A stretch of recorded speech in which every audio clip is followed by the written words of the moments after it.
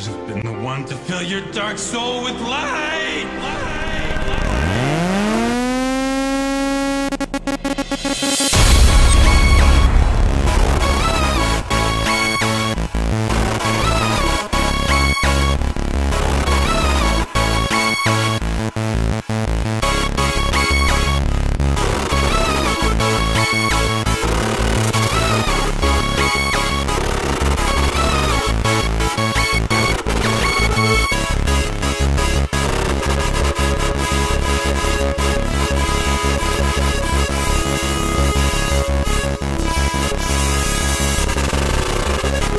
welcome to Abnormal Mapping. I'm your host, M. With me is regular co-host Jackson. Hello. This is episode 66. Remember I used to think of things that happen on various numbers? I don't have one for 66. Uh, they think it's all over. It is now. What is that? It's when England won the World Cup in 1966. Oh, okay. Cool. Who were they against? Germany. Okay. I don't think of Germany as like a football playing state. Oh my god. When you, when you ask me when you ask me who's good at football, it's like Brazil. Uh, Germany's pretty good. I, I don't know. I don't know enough about football, but yeah, lots of lots of people are pretty good. When I think of the good football like countries, it is uh, Brazil, Argentina, um, France. I was about to say Paris, but France, Paris Uh, Earth. Paris. Uh, no, no, no mm-mm-mm. shutting this down. Jackson Paris is on Earth. Okay, so well, this is abnormal mapping when we talk about video games. Paris is, is t- there's that ep- there's that level in uh, Twisted Metal 2. Paris is in a lot of video games. Paris is in a lot of video games. It's true. Have you played Remember Me? I have Neo Yeah. Paris. Neo. Fuck! I forgot they called it Neo Paris. It's just Paris. It's not like Paris is. They've like moved somewhere else, and we're like, we're gonna call this New Paris, but it's the future, so it's Neo Paris. It's just Paris has AR now, so it's Neo Paris. Are you saying that's not the best choice? Because I think that's the best choice. I'm saying it's ridiculous. I'm not saying it's a bad choice. Yeah, you better not be, because it's not. It's the best choice. Cyberpunk. Uh, As you can tell, we've been playing a lot of video games lately. Jackson, what have you been playing since the last time we recorded? What's that little laugh there? What was that little laugh as you threw that question to me? Realizing that I'm going to have to answer this after you, and my answer is way sadder than yours. How is yours sadder than mine? I've played Crash Bandicoot. You also played like good games. You played a bit of uh Yoshi's Island. yeah, what I did was like set up my emulators uh, on the PC. Um, I've been using RetroArch, which is like this shell program for a bunch of emulator cores, and I'm using that instead of the like individual emulators because it's got an XMB interface and you can just go from ROM to ROM. It's very nice. I recommend it as a as a like a thing to set up if you can't bother to just load the emulator and play a video game like a human. Um, but yeah, I played some Yoshi's Island, which is fantastic. It is uh, not as uh, it's called Super Mario World 2 in in the the US stupidly. So I was like, I should play this before I go into uh, Mario 64. That was my rationale. Yeah, and no, that's fair. and it's it's nothing like Mario World. It's a much slower game, even though you move a lot faster. Uh, it's a much game about like like exploring the environment, which is a part of the Mario games before that, but because of how I played them, I never really did. I just got to the end of the levels. Yeah. Uh, so I'm kind of playing it in chunks and just enjoying the. I'll load it up. The music's fantastic. The art is beautiful. Uh, and I'll just enjoy some some chill Mario. It, it's where Mario happened, by the way. Where like if um, I, I guess I'm where Nintendo happened. The modern Nintendo arrives because lives don't matter. Nothing matters. You get new lives when you die. It's fine. You're fine. Don't worry about it. Uh I feel like that's kind of true of Mario World, but I guess I don't remember. Do you get sent back levels if you die if you get a game over in Mario World? I, th- I, th- I think there are save points in Mario World, and if you I have never I don't think I've ever gamed over in Mario World, so see that that's the thing, yes. But I'm fairly sure it works on the save point thing because I was using save states through Mario World, so also didn't see this a lot. Uh, I would have to actually check. I there's no need to be using any of that now. Okay, tell me about the Bandicoot. And then I decided to play Crash Bandicoot. Apparently, Uh, We- Crash Bandicoot, of course, we covered in episode, brr, brr, brr, which we'll link Five. here. Oh, is it five? Okay, we played it. episode It's it's maybe one of the worst episodes of this podcast in my memory. Yeah, because when we played it, I hadn't.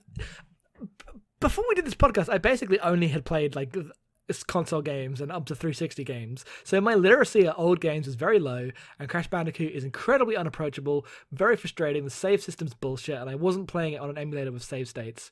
Uh, I was playing it on like my Vita, and uh, so I had a horrible, horrible time with it. Had a better time now. Uh, It's that still a bad game. It's still not a great game, but um, I, I I thought it was okay. I played um one and then two, uh, because I'm interested in like the the trilogy, but I didn't buy it, so I just played the the old games. Fair Uh, enough. and it was fine. Yeah, I don't know. It was fun. Um, it, the game looks great. Uh, especially two. I, I like the aesthetic of those games, even as uncomfortably racist as they are. Yeah. Yeah. I like to break the boxes. It is fun. Not to. I don't like to break all the boxes. Once you tell me that's like a thing that I'm being measured on, I hate that. But Yeah, the, no. the satisfying. It is satisfying to break a box. Yeah, no, I mean it, it's job. so satisfying that Ratchet and Clank stole it wholesale. I, I was thinking playing that like, hmm, what if I just played some Ratchet and Clank? I never finished that first game. I could just go onto the PS3 games and be having the best time, but I didn't. Yep. I didn't do that at all. No, no, you didn't. But I, I mean, I've lea- enjoyed. I've enjoyed playing old games. It's fun. Yeah, no, I mean we we have a podcast literally about doing that exact thing, so it's good. I don't have any takes on Final Fantasy V, but I started it. You're not deep enough to have takes on the like the interesting things in that game haven't really happened yet. So No, but I am just I I'm enjoying it. It is fun to level up the jobs. mm, that's fair. I've been playing Final Fantasy X, which I can't talk about because I'm only started it because I want to do a lot of side stuff, and that's going to be our October game club. And if I don't start now, I'm not going to be able to do that stuff in the time frame we have. You So- you you are incapable of playing games like I still can sometimes. You're too old.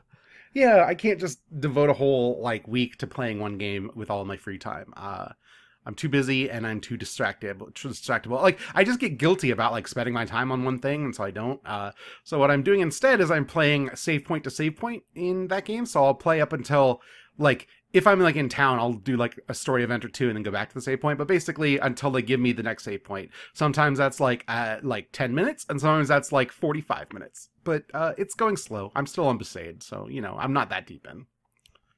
I'm excited to get there. It's one of the it's the maybe the Final Fantasy game I know the most about, but also the things I know about it, both story wise and like the mechanics of it, don't make any sense to me. So I'm excited to see it be like a real thing that I can understand. Um, outside of that, have I? Man, I. I, I feel like I should play more video games, but lately I've just not been in the mood. Like we've got all these podcasts, and I'm reading a lot more right now, uh, just for my own sake and stuff. I just I just don't have it in me. I'm watching The Simpsons. I could talk to you about The Simpsons, I guess. I'm not going to do that. I'm not going to do that.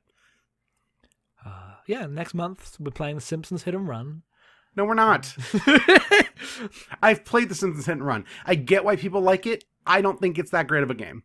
It's it's great. It's fantastic. It's the best game. It's no, it's fine. I it's one of my first. It was the I got four games with my Xbox when I got an Xbox, and that was one of them. Yeah, it's like the definition of inoffensive licensed game. It's higher on the scale than that, but that's maybe because I have a lower standard for licensed games in the PS2 era. Yeah, like it's fun, but like it's super derivative, and it's just like if you wanted a game that's like other games, probably not as good, but full of theming you like, it's one of those. It's great at it. Well, yeah. The Simpsons. We're gonna play The games. Simpsons the movie game, It's not. It's not a. It's just the game. It's just EA's The Simpsons the game. The Simpsons the game based on the hit movie based on the hit television show The Simpsons. Yes. TM. TM. Uh, yeah, that's it, I guess. I don't know.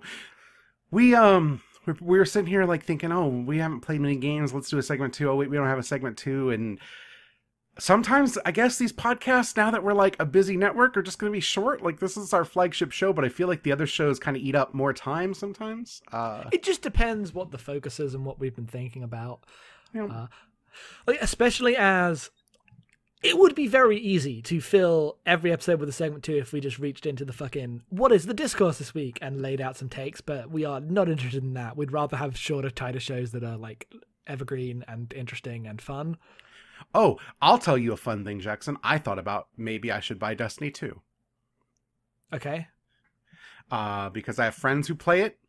And I was like, I don't know. I've never played one of these. Maybe I could get in and like play with my friends in the evenings. We could all get on a call and just hang out and. Oh. You know, you know, if you do that, that I am like contractually obligated to do that as well. Oh. You'd be fucking cursing me. I'd do it in a heartbeat. I, you kidding? I would do that right now. But I don't want to. So if you do that, you're ruining my life. I just want, I just want that to be clear. Well, all my friends are playing on PS4, so I'd be buying the PS4 version. I, oh, I, I, I worked that out. That would be fine. Okay. Uh, Or you and me can just be rebels and play together on the PC version and fuck my friends. we could, but then we could just play Minecraft.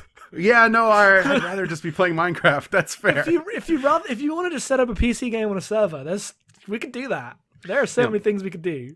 I also thought about blowing my paycheck next week and just buying a Switch. That also occurred to me. If you do that, I will actually kill you. if you if you have Splatoon 2 and I don't, as the person who cares about like Splatoon as a multiplayer game on this call, there is a non-zero chance next weekend I get a Switch. Oh, I hate I can't. I even if I wanted to like ruin my life that way, they're out of stock until August everywhere. It's not a good chance, but there's a chance. So you're saying there's a There's chance. a chance. Yes, I am saying there's a chance. okay. it's a bigger chance than that. yeah, no, there's a, there's a bigger chance than Lloyd Christmas had. That's about the title of my autobiography. A bigger chance than Lloyd Christmas. I'd read a book titled that. Are you kidding me? yeah, that's pretty good. That's a pretty good bit. Uh, that's kind of where I'm at with games. Thinking about playing games in the future is more interesting to me than playing games right now. Uh, I'm thinking about paying old games, so that's that's also also where I'm at. well, uh, let's stop this foolishness and actually talk about an old game. Then, how about that? Let's do it.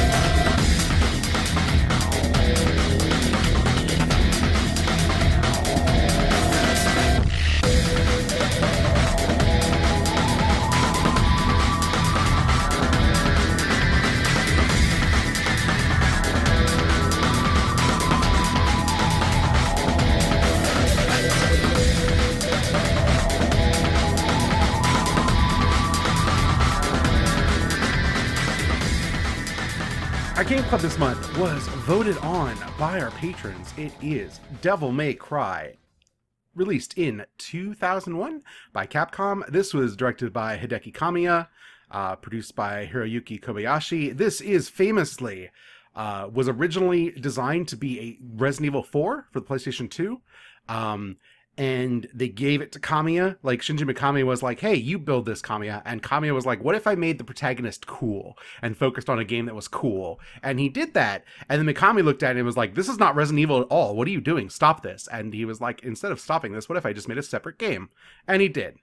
Uh, because of that, there's a lot of holdovers from Resident Evil in this game. Uh, there's a lot of like finding chalices and brooches and gems of various descriptions to shove into walls to open doors. Uh, there's also like a vaguely fixed camera angle that's like more uh like everything's in 3D and it's not like actual pre-rendered fixed camera angles like uh Resident Evil is, but it does often point you at a weird Dutch angle when you enter a room and then the camera does a very obnoxious swoop around as you walk down a hallway, just enough to obscure everything you're gonna fight. Uh The, the camera angle specifically, like which is the, the big change in future games, because they, they they keep the fixed camera until four. Mhm. Uh, but then specifically, you definitely get the Resident Evil thing where you go into a room and the camera is always facing the door you just came in of the "we are obscuring the zombie that is here" shot, but there's no zombie. Yeah. Um, this is considered the one of the first or the first character action games. Uh, that is in part based on like the whole thing with this game is you have a big weapon and then you have guns, and the guns are used to extend juggles and combos. The juggling system, Wikipedia helpfully tells me, because I never played it, is based on like a bug in Onimusha Warlords where you could just keep enemies up in the air if you kept slashing, and they were like, what if that was a mechanic because that's cool? And guess what? Now it's a mechanic because it's cool. Uh, this is a big long series now. There are four games and a reboot. We covered the reboot way back when in episode one. Uh, we have done a meta mapping on that. We'll link to that. It's already exists. Please enjoy that. Uh, this is kind of like our uh, I, I wanted to do this basically because we did that episode. I was like, what if we just went back and played Devil May Cry? Uh, and we have. It was- Jackson. It was a game we both wanted to play, but would never have done it outside of the context of this. Yeah, uh, because we both tried to play it since starting this podcast, and both got about an hour in, and we're like, nah, let's maybe not. yep. And then we read a guide, and it turns out, oh, yeah, actually, it's fine. know, uh, Jackson, why don't you tell people about the story of this game? okay, how much did I retain? Let's go. Um, so eons ago, Yes. there's uh, a dark lord called Mundus, Yep. and uh, a guy named Sparta, who I think is Sparta is a devil. Yeah, he's a he is also a demon, I guess. I mean, they, they use demon, but I don't know. okay, demon. Um, but he he fights Mundus and basically seals him away or whatever. Um, and Sparta is a hero. Uh, anyway, flash forward to now, and you are Sparta's son, and you have a shop. Unclear what the business of the shop is, but Trish No, in. it's entirely clear because on every possible surface is a demon head impaled into the wall with a sword. okay. I guess it's just a lobby for his demon hunting business. Yes. Unless he's selling all those objects and can't like get rid of them. No, I assume that they are trophies from demon hunting. Yeah, so he's he is a demon hunter. He is Dante. He's the son of Sparta. Uh, and Trish comes in and is like, "There's the one mystery you haven't solved. What happened to like your mother and your brother when they were killed by Mundus? He's back." And so you are convinced to go to this castle uh, in search of Mundus uh, and uh, take him out. Or at least that is the implication, because the story is fucking nothing. Like Trish just disappears. She leads you to this castle, and then there's no reason why she's no longer there. She just stops being there because you have to explore the castle because it's a video game. You um, forgot one of the key points of Trish's personality. Oh, d- d- She's she's cool and she's, no, no, no. Not that one. I, I have. Is it the mum thing? Because that's Yes. later. No, That's because later. that's from the very beginning oh because shit! it's it focuses on a picture of Dante's mother and Dante's mother looks exactly like Trish. Right. That's why he goes with her in the first place. Oh, what a stupid thing. Anyway, Trish comes in, stabs him to death, uh, and then he's like, How dare you stab me to death? That was rude. I'm fine. Takes the sword out, realizes she looks exactly like his mother, and goes, Hmm, I'm going to trust you now. Let's go and do this. Let's go to this castle and kill this, this demon god, whatever Mundus actually is. Yep. And then and then that happens. He he does basically the like the entire game is exploring that castle, fighting enemies. We'll get to that part to like oh, assemble the ritual that opens the portal to the underworld. Like because the portal is like just in the castle, but it takes forever to gather all the parts to make that happen.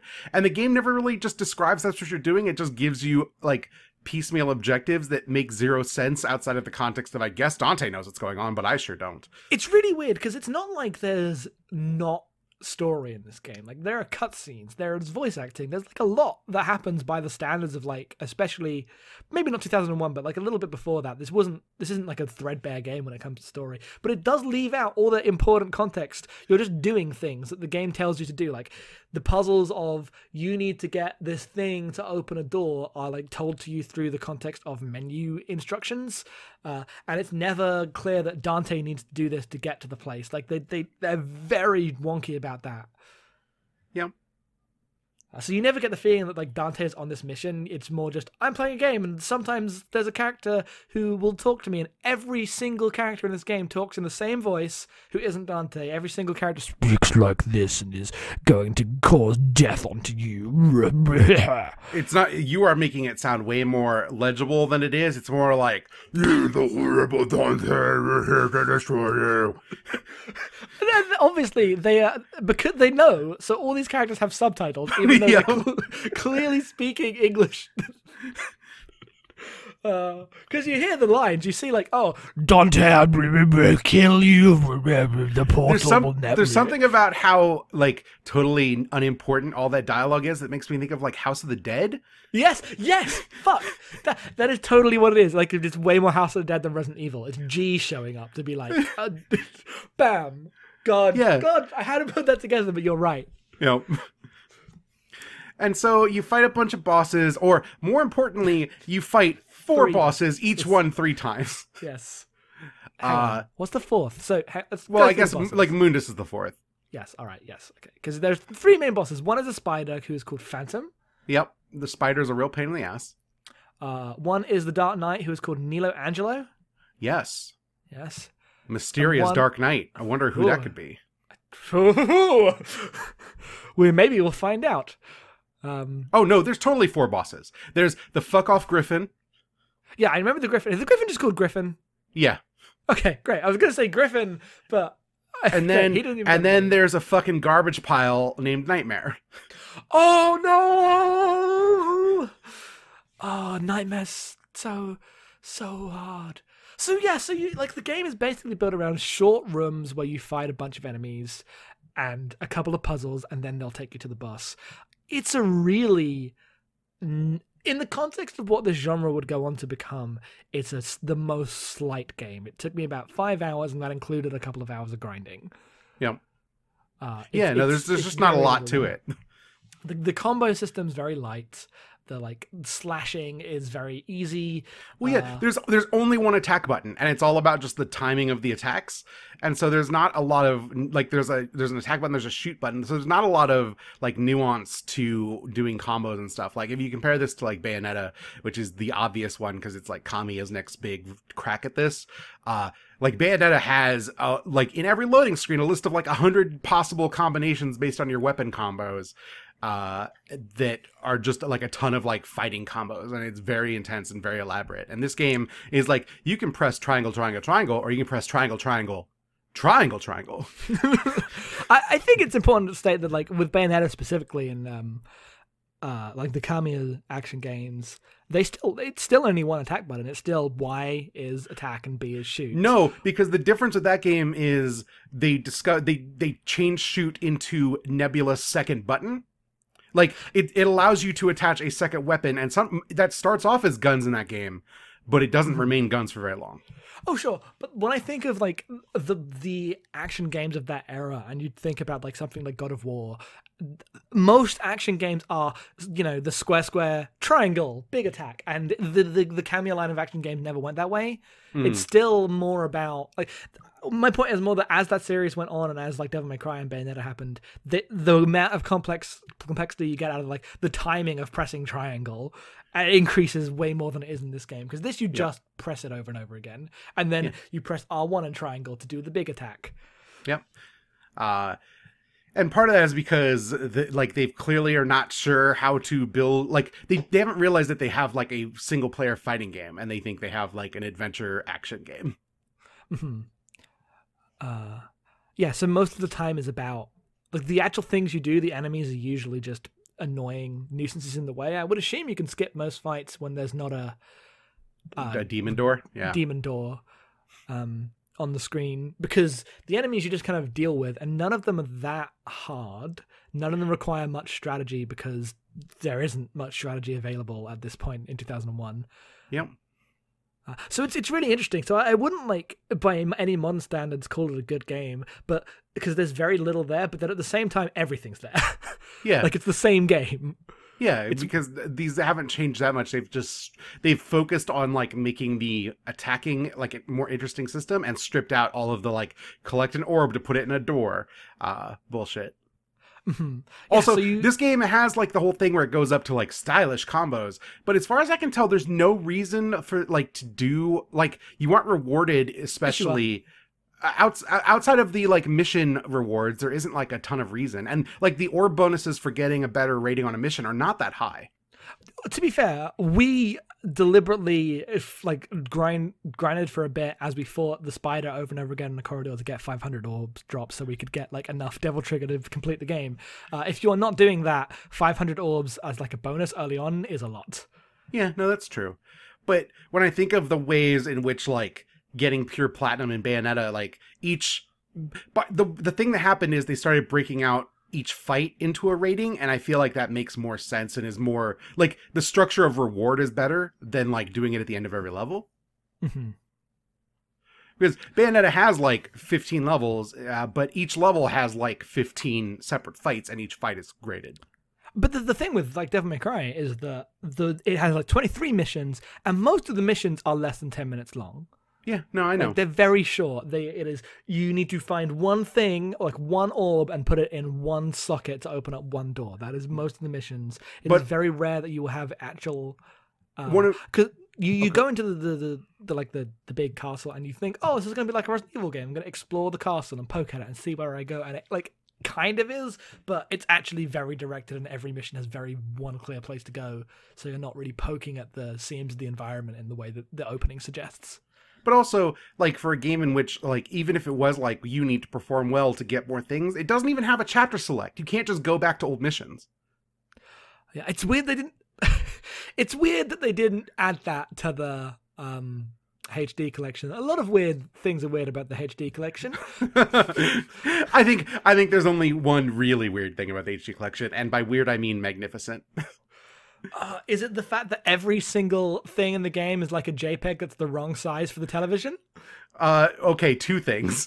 The other thing is the amazing stock photoshop jobs that intro the mission like the menus of the hd collection where you, Oh, you the game loads into a dvd menu from like 1996 and then you select which game you want and then it loads into another terrible jpeg Oh, it's so good. It's so good. Uh, another thing that the I loaded up like two minutes of Devil May Cry 2 just to see what video game that was. Uh, and what that game has that one doesn't have is the cutscenes. There is a s- they have done the black bars wrong, so you can see the scene like there's like a line beneath the the letterboxing right at the bottom of the screen where there's no black bar, and you just see the scene through. The, yes, yes, Oh, it's such an amazing shit show because the actual like porting and performance of the engine and stuff is fine. Like they've done a good job with it. It's not like the Silent Hill collection or anything. It's just that everything around the edges they've they've changed nothing and haven't like accommodated for the platform. It's very fun. Yep.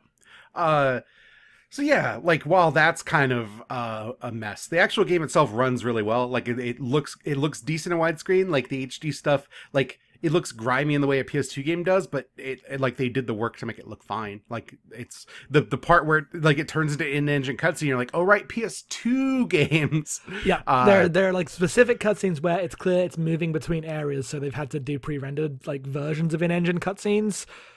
Oh, Yep. they're beautiful. That era has sadly passed us now.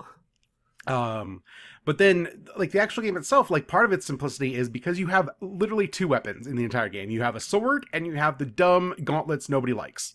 hmm You have a third weapon, but you don't ever use it.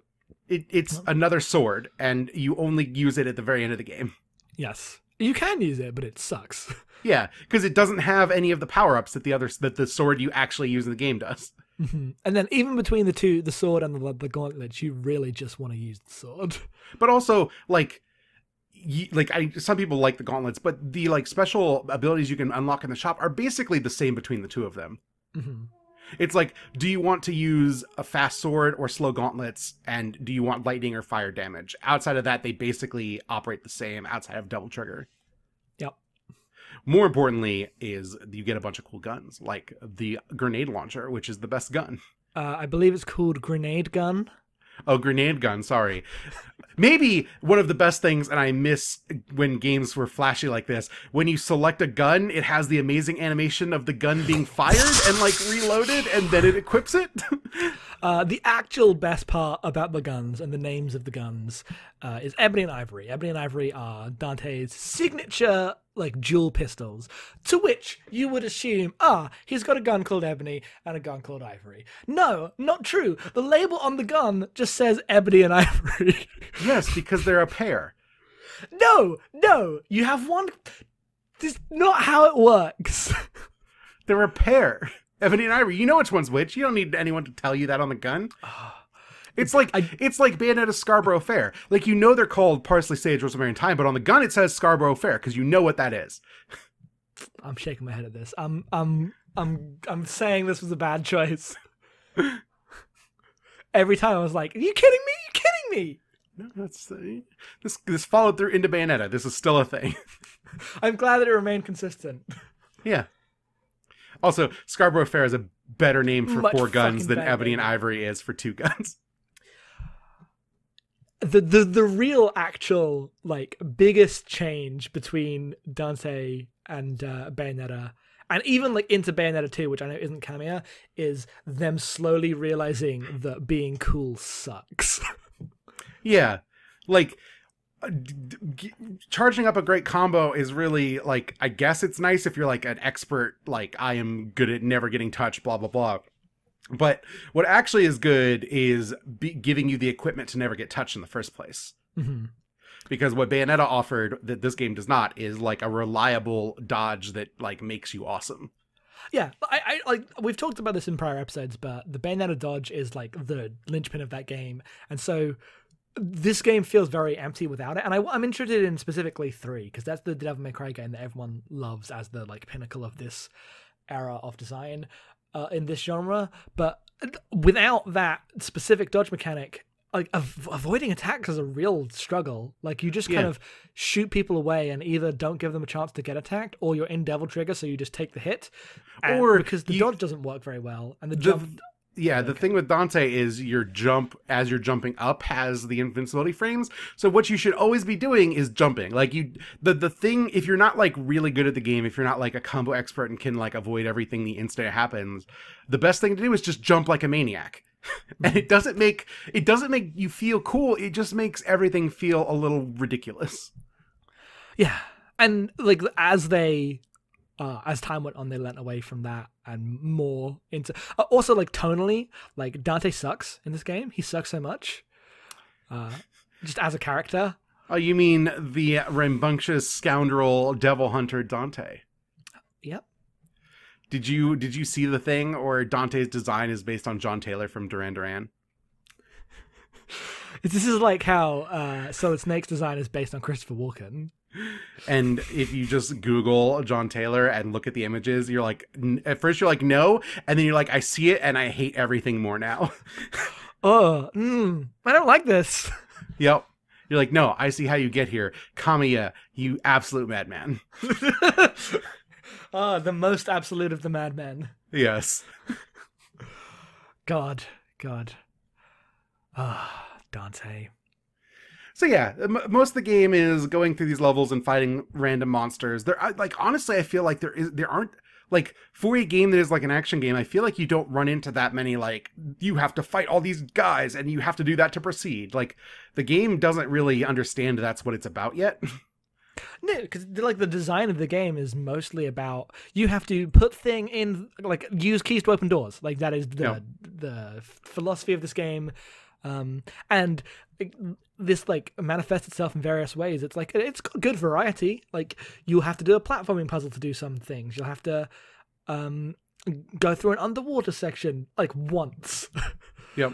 you'll have to uh like fight a couple bosses in a row sometimes which is a bit stressful because you're like oh i don't have many yellow orbs uh, and the fucking retry system sucks so much because Yes. not only do you are you limited by yellow orbs like for how many times you can retry your item count stays the same throughout them. So i had to like fight the final boss and i was just using my items because obviously it's the final boss. When am i going to need them again? I'm going to need them to retry the final boss. All those items were dead.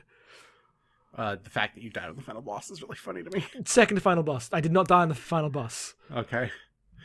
Okay. 'Cause- uh, you think the final uh, yes the, the game has two final bosses and i was very I was very put out by the actual final boss but luckily that wasn't that difficult Yeah. Um the yeah, the uh the other thing that happens because of this is they don't like because the game is like 23 chapters or whatever, but those chapters are really short. They'll do the obnoxious thing of just putting a boss in the middle or the end of a chapter and there are not mid-chapter checkpoints. So if you fail at the boss, you have to redo everything leading up to the boss, which is very annoying. So it, it has this weird effect of being very segmented game doesn't feel long and turns it into i'm sorry uh, and turns it into something very tedious Yeah. Uh, and and that design choice only makes sense when you realize this is a three and a half hour game in 2001 and Yep. that wouldn't play even though had they just like done that to me today i'd be like perfect well done you did it you fixed video games Yeah, I mean, I was on Skype with you while you were playing in like like mid chapter teens, and there's that one chapter break that's just as you open a door. yeah like what Yeah, it's just in between two hallways. Oh, the chapter's over, I guess. Whatever. yeah it's there's no real narrative or like gameplay reason for any of these chapter breaks uh, like sometimes it's oh I beat the boss the chapter's over uh, I did the thing the chapter's over but sometimes it's like we're not gonna have this all be one chapter so the chapter ends here I guess You know, and then there's like weird spaces where you're like one. There's like twice in the game where the chapter ends, and then you keep playing before the next chapter begins, and it's very strange. Yes, and those are like noted in the guide as like the chapter doesn't begin until you go through this door. So if you wanted to go back and explore the castle, now's a good time because you're not being like marked on time for orb rewards. Yep. And it's just the in moments like that you realize how old this game is. Uh, in moments like the combat, you realize how old this game is because so much in, of the other stuff hasn't changed in like the greater world design, other than becoming like less of it. Um, but then there's these uh, like there's these. It's really interesting what has changed and what hasn't changed. I just like looking at the game as an intellectual thing. hmm Uh, another thing we haven't mentioned about the combat and about everything is that if you press the left trigger, the L1 button, you win the game automatically. Yeah, it activates Devil Trigger, which turns Dante into his demon form because uh, Dante is half demon, I guess. I, the implication is that his mother is like a human, right? yes. He is pure Alucard all the way. No. Fuck off. He is not. He is. His dad's his dad's like a famous demon lord. His mother's a human. He's torn between two worlds, has a bunch of mystical powers, No, but is he- mostly he- just like a fey man. Like he's 100% Alucard. He is not because his dad would have to be Mundus. Yeah, no, I like yes, you're right, but everything else he's basically just Alucard. I'm not saying you're wrong. He's like a worse Alucard. I'm not here to disagree with that, but he's What totally in the, the, future Alucard. mode. Dante like got a really good suit? that would be great. Uh, I have no problem with that. Uh, what were we talking about before this happened? We're talking about the Devil Trigger. Um, oh, right. like So the way that his- that changes yes. combat. he turns into his devil form and every attack does a bunch of damage and you have like a slow regen but also you can if you buy the abilities you can just like jump up in the air and like rain down lightning with the sword or if you have the if you have the um the gauntlets on it'll just cause like a giant fireball to explode everywhere and it basically will destroy everything including bosses in seconds just seconds The final Uh, boss, the first form before the like like magic ending cutscene, you only have to do one thing yeah uh, moment. I destroyed in literally uh, five seconds. yeah uh yeah, because the thing with the devil trigger is you use it like you have a meter and you use you use the devil trigger and you destroy everything. And then if you don't destroy everything it's very easy to rebuild it because you rebuild it by attacking. But attacking also counts as just spamming ebony and ivory which often do very little damage but will just slowly build your meter or quickly build your meter as you like jam on the bu- fire button as fast as humanly possible. And so you can just refill your meter with very little trouble and just continue to spam devil triggers. And it makes the actual like combo system and dodging and the mechanics of the game absolutely trivial as you just turn into a demon and kill everything. yeah. It's really clear that they hadn't worked out the numbers on this yet. Like the guns do too high damage in general. Um, Oh, except Ebony and Ivory, which do nothing. They're absolutely useless. yes, I and Ivory do nothing, but in like you can use guns for most of the game if you really wanted to to kill everyone. Uh, I did. the I did. I used the grenade gun for almost everything. Uh, I was shotgun. I didn't like the um, like being locked with no ability to jump for the animation cycle. Hmm. Uh, I would often jump and then use shotgun. But yeah, so you, like the the number, the damage on the guns is off. The damage on the sword is way too low. The the the, the difference between regular form and devil form is just insane.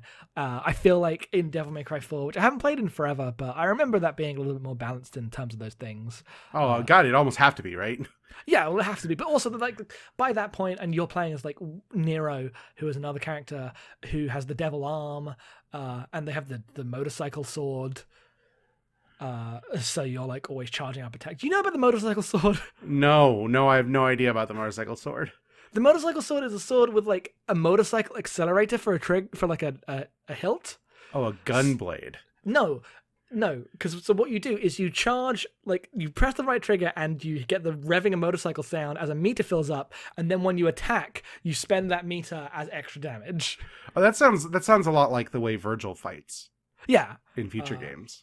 I have never played a game where I've like been able to control Virgil, but I've heard stuff like that. And so you're like, Yeah, because Vir- Virgil Virgil's like a like a I mean it's not really in this game, but he's like an an, an Iaido master where it's all about like the short sword is sheath and you stand your ground until the last minute and then you do one attack that does insane damage and then you have to stand your ground and sheath the sword again. Uh, Nero is also all about like he's got the devil arm, which you can use to like bring enemies towards you or jump towards them. Mhm. Um, so because I played four first, Devil May Cry feels kind of empty without the ability to reposition yourself quickly at enemies. Yeah, there you can stinger towards them, and that part is like amazing and b- kind of broken at this distance Dante travels, but that's all you really get. So did you spend most of the game stingering as your main form of movement? Uh, yes, because you travel very, very fast, and most enemies you will knock down when you stinger them. So the thing you would do is just target an enemy and stinger them, and then just keep doing it. Like those weird crawly unknown creatures, I think they're called. Oh, like, you stinging them to death. yeah, you just keep stingering them, and they never get up, and they can never harm you until they're like death throws where you back off. But the fact that like Dante is better served just charging at everything with his one like a sword extended is hilarious. What a ridiculous character. Yep. So yeah, uh, most bosses are solved by just devil triggering and killing them, and then there is inexplicably towards the end of the game, the hardest thing in the entire game is this fuck off boss called Nightmare. That's literally just a trash pile that's like liquid until you turn on a light, and then it turns into a solid and exposes its core. But it is outrageously hard compared to everything else in the game.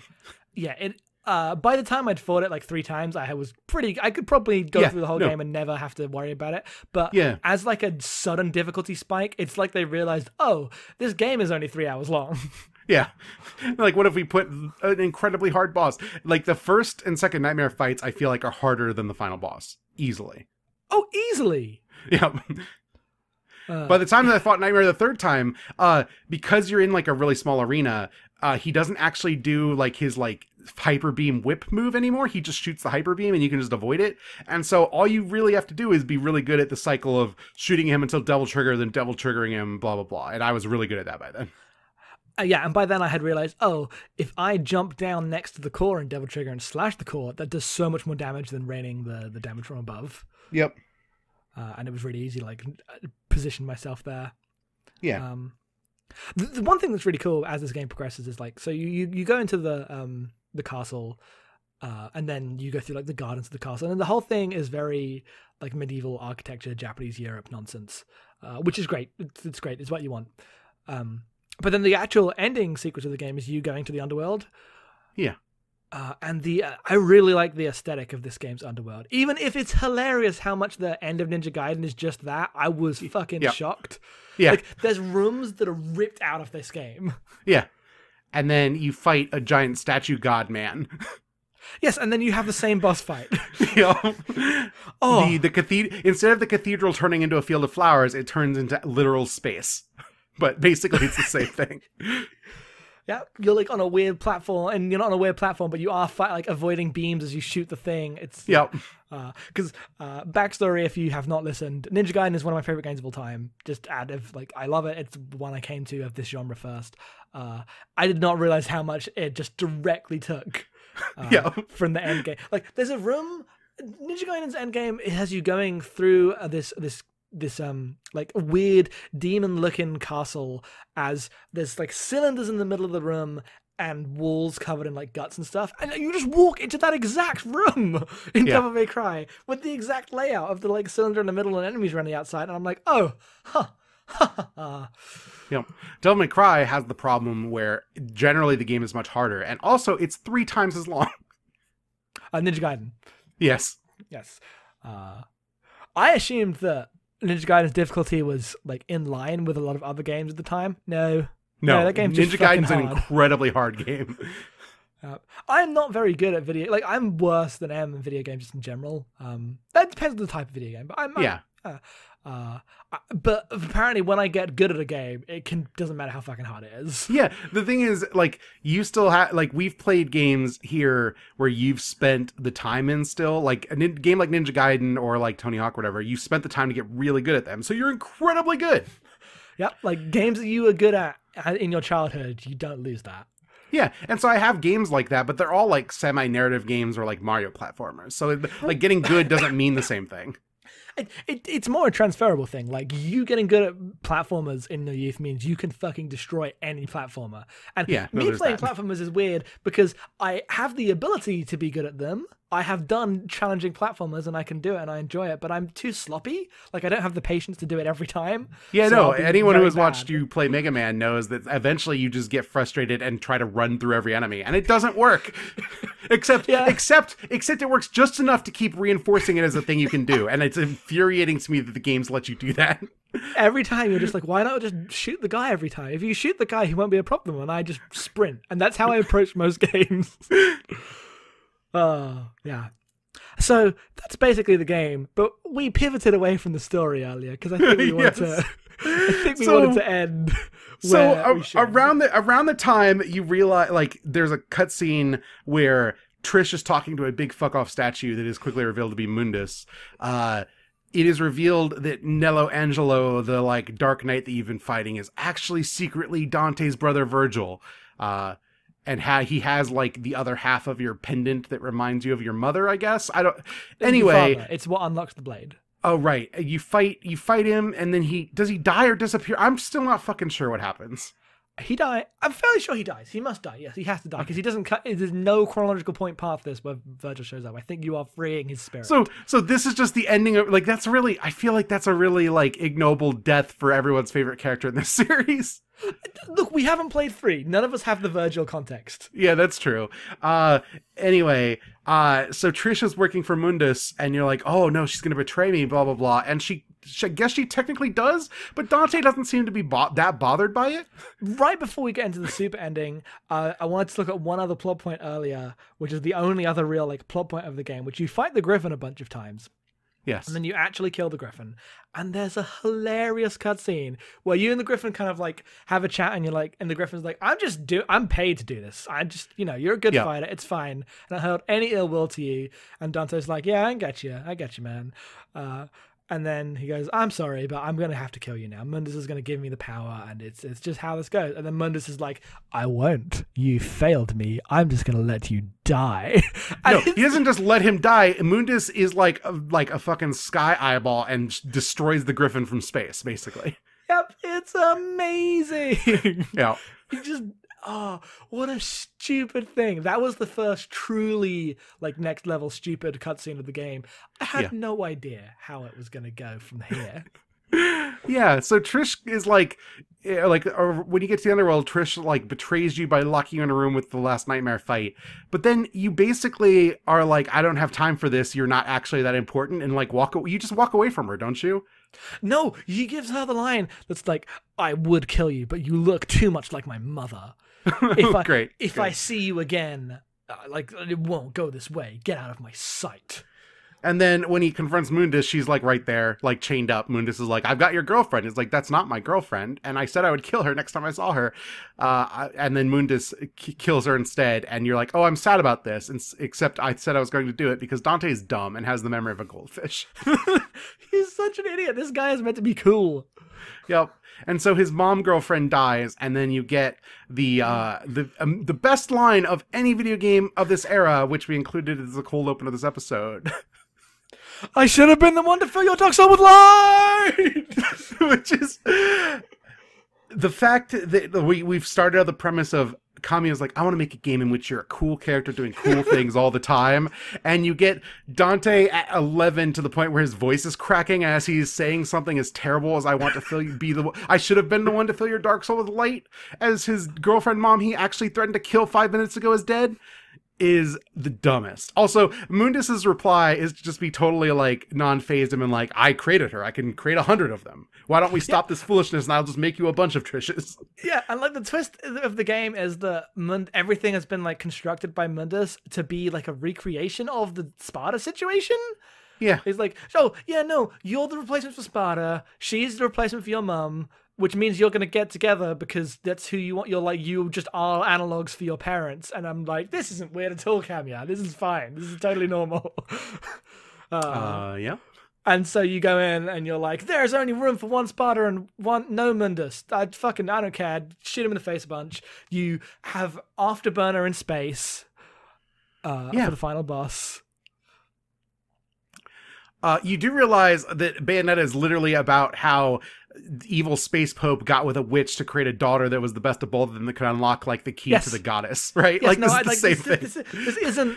This doesn't go away. Uh, it, it, they had. Hmm, it is crazy how well handled Bayonetta is for like the, the topics it is actually about. yep. Yeah. that is a minefield. Like you would expect like some anime ass game to just go in the worst directions.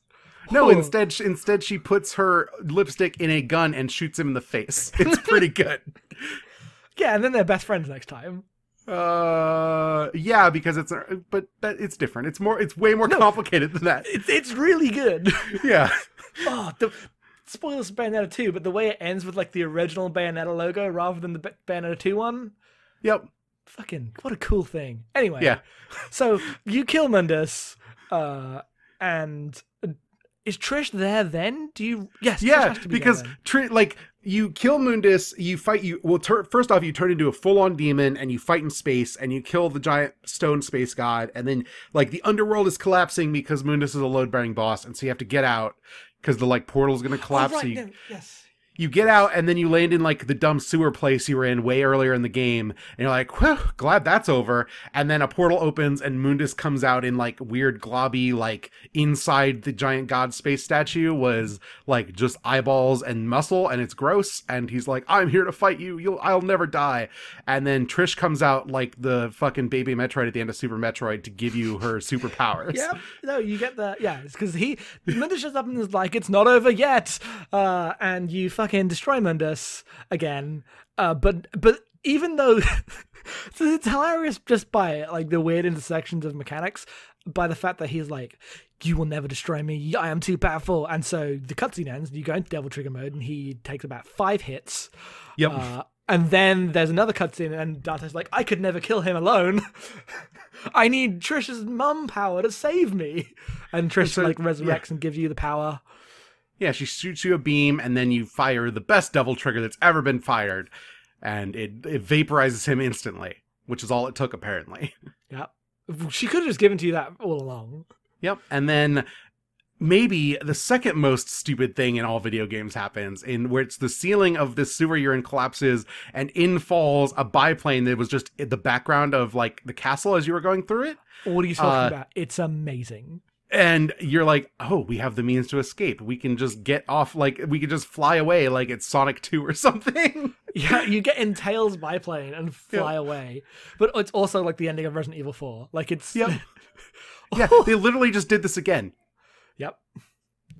Two Resident Evil 4s have the same ending. Leon versus game. Dante. That's that's the question.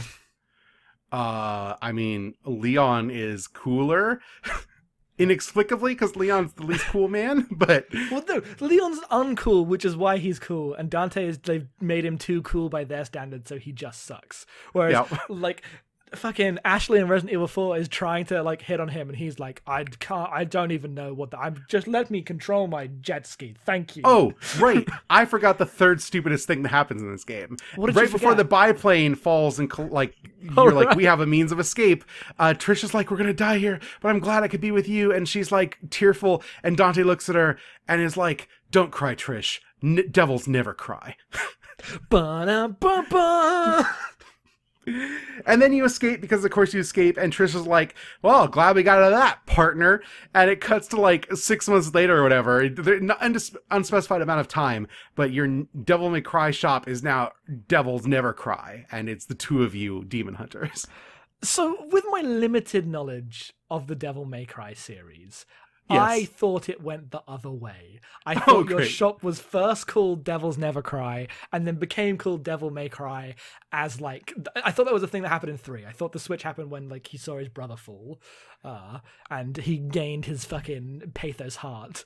But no, it's the other way. You just become too cool to cry and you shack up with your invented constructed mum girlfriend. and it's it's like it's kind of amazing how much the ending of that game unintentionally presents character regression as its climax. Yeah, no, Dante learned a lesson, and that is if you're cool enough, you just get the lady who is your mom and your girlfriend, and you win. I don't think I've seen seen a, a, like many stories. Like I've seen bad stories about like bad protagonists, right? But Dante actively becomes a less interesting character with every plot beat, yep. and I don't think that's intentional. They just did that. Yeah, no, it's it's really, really, really bad. Uh, I'm really interested in Devil May Cry 2's story because I know people like people hate it for what it does to Dante, so I assume he's way too much of like a uncool person in that game. Uh, that's good. Someday we might cover it. We'll, we'll probably play it. I don't know if we'll cover it. We'll see. Yeah, we'll see.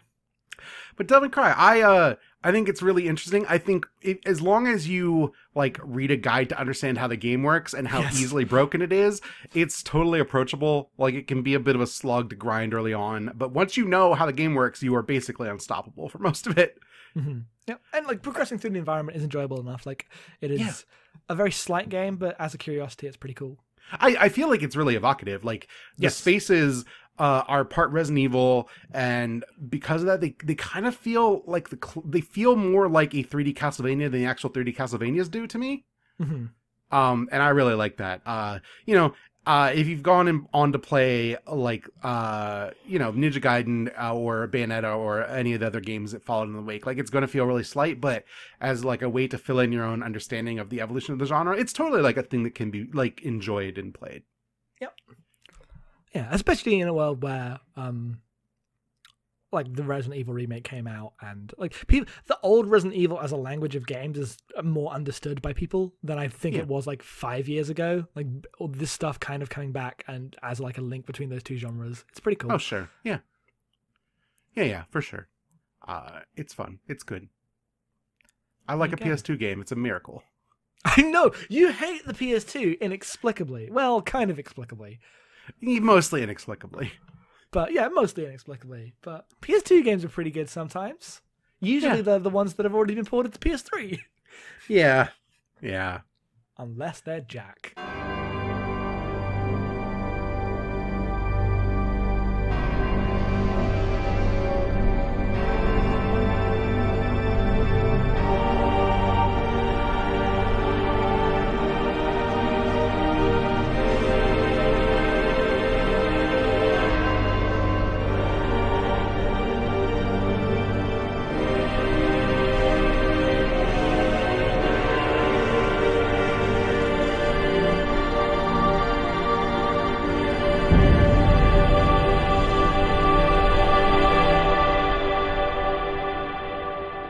So for the last segment, we have questions. If you want to send us questions, you can send them to podcast at abnormalmapping.com or hit us up on Twitter. We have one question. Jackson, please read the question. Question is from at Atozircon. Uh, that is Z I R C O N. Uh, Yeah, like the like the mineral gem thing. Oh, oh! I don't know anything about rocks. Yeah. Uh, uh, how do you two feel about Dante's personality after spending a full game with him? I actually love him. I think it's amazing, and he's my best friend. He is like everything bad about video game protagonists, but because the game is so gleefully silly most of the time, and because it's like five hours long, he just kind of feels like a dumb baby that I love. Yeah, so we like ragged on how stupid he is, but the, the stup and like it wasn't an intentional stupidity. They really do want you to think he's cool, but yeah, the way it plays in the game, I cannot help but fucking like love this encapsulation of late '90s, early 2000s video game bullshit. Yeah, it's old enough to be really charming now. Mhm. Uh, and so like I like I, I'm sure that if we play two and three, I'm gonna be really like annoyed with Dante as a character probably because I don't think Demon Hunter Special Boy is interesting. But this Dante, like yelling about how much he said his wife girlfriend is dead, even though he threatened to kill her five minutes ago. Like it's funny. I like it a lot. I don't think he's ever a special boy more than this. Like, I don't think Devil May Cry 2 has anything to do with anything. oh, they um, don't cover like Son of Mundus. I have the Soul Edge. Sure, but that, that's like that's all the prequel stuff. That's all stuff. Oh, that's all one thing we stuff. forgot to cover. I want to bring it up. When you first get the like Soul Edge, the Spart. What is it called? I don't, is it Stop called calling it Soul Edge. It's called Sparta. um, it looks like the Soul Calibur 2 infected weapons things. yeah. But when you get it, there's this amazing cutscene where he transforms it into seven weapons that all seem cooler than any weapon you get in the actual video game. And I'm so mad about You about never use them. You never use those forms. It. It's like it's, swords it, and souls. yeah, it's like it's like the giant transforming sword from uh, Monster Hunter. It's like a scythe. I'm like, I want to play with all of these weapons. None of them exist.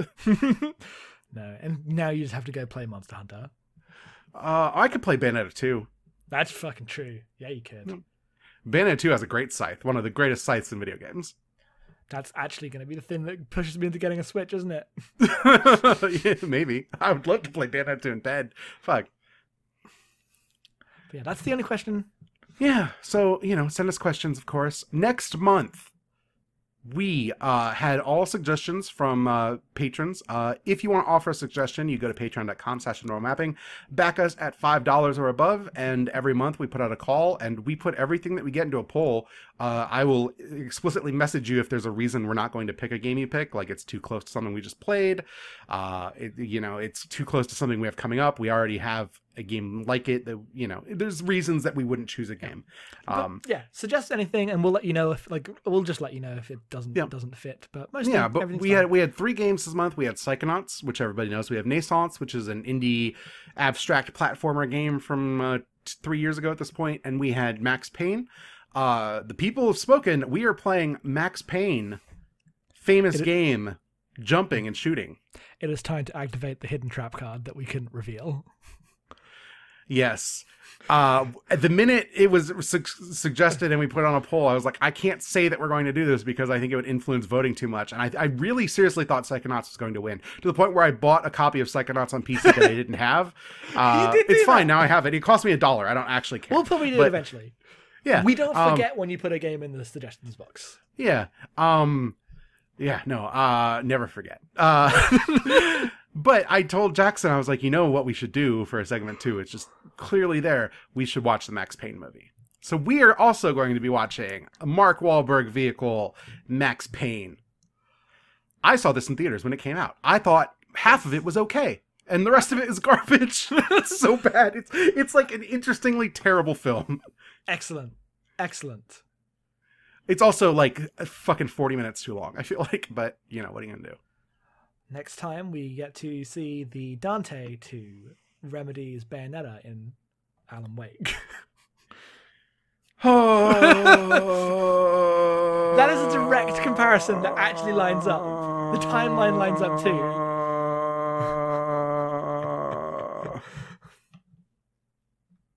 Uh, Is that it? Are we just ending there?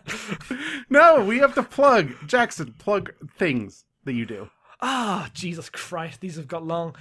So, Abnormal Mapping is now a podcast network where there's a bunch of shows, including uh, the Amory Score, which I do with uh, my friend Molly, and um, we go track by track through the songs of Coheed and Cambria and explain the fucking bullshit that is the story of the Amory Wars. Do you want to talk about the joy that you discovered the other day as of this recording? Ah, the Coheed Reddit, the the Reddit, which is r slash the fence. It's not r slash Coheed. That exists. No, there is an r slash Coheed, but it seems much more sane than r slash Well, no, for some reason, most of the user base transferred to r slash the fence Don't I don't know. I'm not an expert. That's just what I know.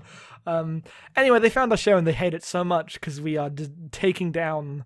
We're like, it is a comedy show that is meant for people who are not really familiar with the bullshit that is the law, so we can explain it to you and we can all have a good laugh. The people who actually enjoy Coheed and Cambria as like a story do not. They're not fans. They do not like us. Um, but they they're fans of Coheed and Cambria, so fuck those people.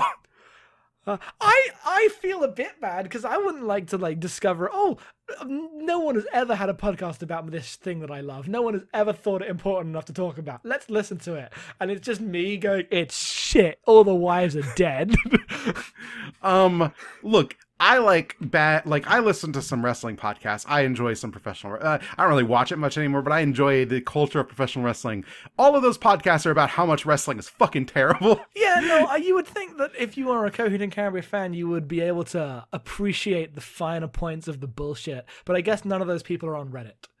Yeah, no, if you're a Coheed and Cambria fan on the Reddit fan board for Coheed and Cambria, you are probably someone who thinks murdering wives is just fine. Don't murder wives. Don't murder wives. Uh, so yeah, that's uh, also I do the goof same with No, no, no, you didn't tell people where they could find the Amory score. Please Right, they could find the Amory score at I need mayo.com for there is a line where he yells with full sincerity, I need mayo. Yep. Mayo, of course, being a, a character and not mayonnaise. Mayo, unfortunately, being the loser of this weekend's Splatfest, I'm sure. yeah. Uh, and uh, I also do the goof same with Destiny, which is a mental health podcast, uh, which is I think every month is the settle uh, the schedule we have settled on. Uh, well, we're recording another one soon. Is at goof.zone. If you ever want to ask us mental health questions, you could uh, email us at podcast at and we will answer them for you. Where can people find you on Twitter, Jackson? People can find me on Twitter at Headfuls Off. I forgot I hadn't done that. There's too many plugs. No, it's fine. Uh, you can find me on Twitter at em underscore being. Me and Jackson do a monthly Yes. Star Trek book club called Second Officer's Slog. We read Star Trek books. You don't have to. You can just show up as long as you're okay with knowing how DS9 ended or you've watched the end of DS9 because we do talk about that stuff pretty frequently. Um, we do note the episodes that are not about those things. We uh this week this past week went put up an episode based on a tng comic. You can just enjoy that. It's really fucking bad. Oh my god it's so bad. We had a great time. It's please enjoy us laughing. Please enjoy a gallery of stupid images. Um We've been running for this comment. This uh, the, we've been running this podcast for like three months, and suddenly we realized that comics are available too, and like our whole world opened up.